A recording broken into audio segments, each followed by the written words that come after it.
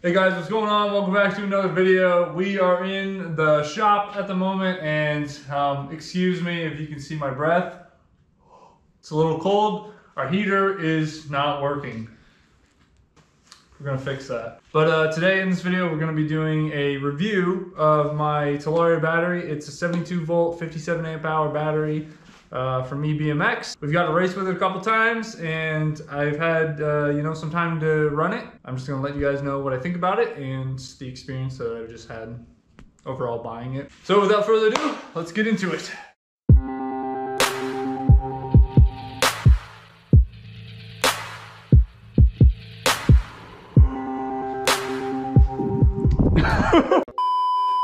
So this is the 72 volt 57 amp hour battery from EBMX. It's the biggest battery that they offer for the Talaria. They do offer another 72 volts battery. It's uh, 72 volts 42 amp hours. They also offer two 60 volts 165 amp hours and one is 53 I believe. If you guys don't know the difference between this battery pack uh, and like a traditional battery pack is that this is using pouch cells instead of like uh, 18650 cells. And what they have in here is um, a bunch of pouch cells that basically reach from top to bottom. So they're 1P and 20S. So they're 3.6 volts by 57 amp hour packs.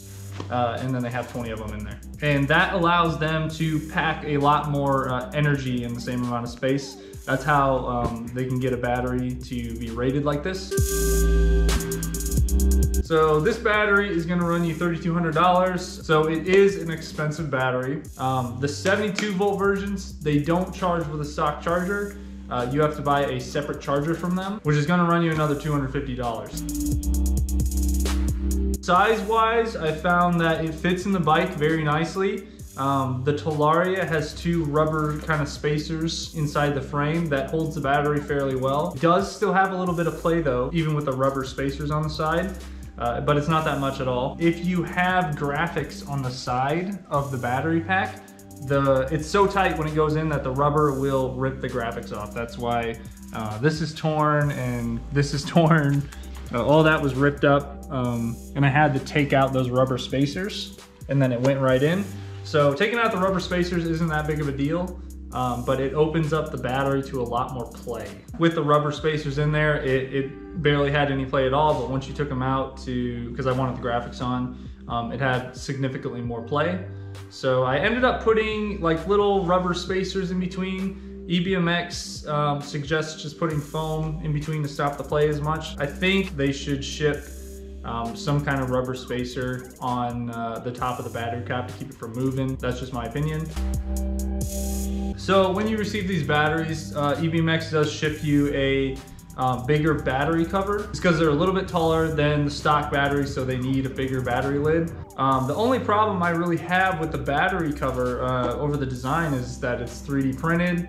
Uh, I found that it's really brittle and breaks very easy. I didn't I didn't crash it or anything. All I was doing was shutting the the lid on the battery cap and, it, and the side of it cracked open. So I contacted EBMX about that and they did send me out a new one, but it's still 3D printed, still very fragile. So I'm very careful with it. Uh, they are shipping everybody that does buy these a second battery lid that's supposed to be stronger, their version two. Um, I'm not sure what it's going to be made out of, if it's injected molds or if it's like a stronger polymer plastic. Uh, I have not seen it yet, but the 3D printed battery cap is not really uh, strong. It's not very ideal. If you do crash with it, I expect it to break. Uh, one of my biggest pet peeves with the 72 volt pack is that it doesn't have a uh, percentage display on the pack. Uh, all the stock batteries have it and that's just one of my biggest pet peeves on here is that it doesn't have a digital reader for the percentage that you have left in the pack. You could argue that it doesn't matter because all aftermarket controllers will show you the voltage of the pack, but that opens it up to a lot of guessing on your ride. Uh, first of all, you need to know that um, the pack, a 72 volt pack doesn't sit at 72 volts constantly. Uh, if it's fully charged, then it's gonna be a, in between 83 and 84 volts. If it's fully discharged, it's gonna be around 60 volts, 61 volts. You have to be aware of that. And then as you're riding, that gives you a lot of, I mean, you're gonna be guessing a lot of how much range you have uh, in between those numbers. And that's just one of the things that probably most bothers me on this pack.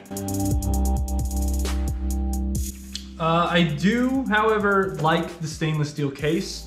Uh, it's very strong. Like I said, it fits really well on the bike if you have the spacers in. I just I just like it because it's very durable. I bought batteries where they're not so durable, so I, I like the fact that they have a very nice stainless steel case on this. The strap on it is nice. I've also had batteries that I've gotten and the strap breaks. So um, the strap is very solid.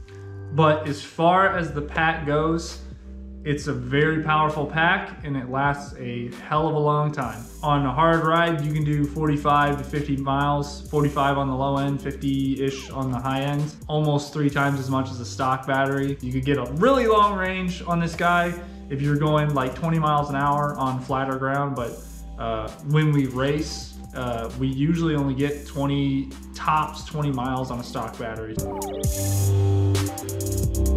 so, um, a lot of you guys have been asking me since my last video where I uploaded um, where I raced my Sur-Ron and my Talaria in the same race, um, why this battery didn't charge when I plugged it in.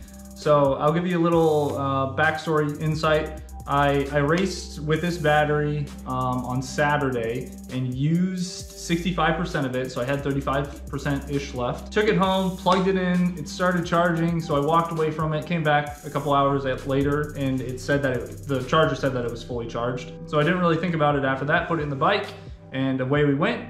When I got to the track, I um, checked out the voltage actually from my KO controller, and it said that it was still at 35%. So I was really confused why it didn't charge. I contacted EBMX. We discovered that it didn't charge because the battery was under 32 degrees. Something to pay attention to if you live in colder climates is that the battery won't charge if it's 32 or below. 32 Fahrenheit, uh, zero Celsius. So how we found out that the battery it was too cold and why it wasn't charging, we downloaded a app, ANT BMS, and this app basically allows you to connect to the battery.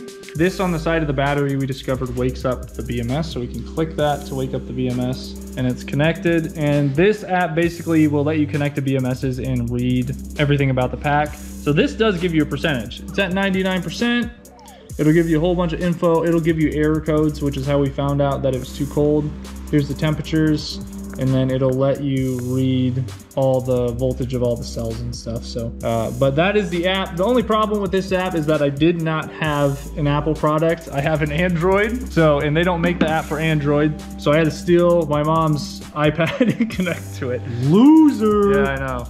Anyway, guys, that is my review of the Talaria 72 volt, 57 amp hour battery from uh, EBMX. Anyway, guys, I hope you guys enjoyed that video. I uh, hope you found it informative. And we're gonna go home and get warm. Isn't that right, Josh? Uh, yeah.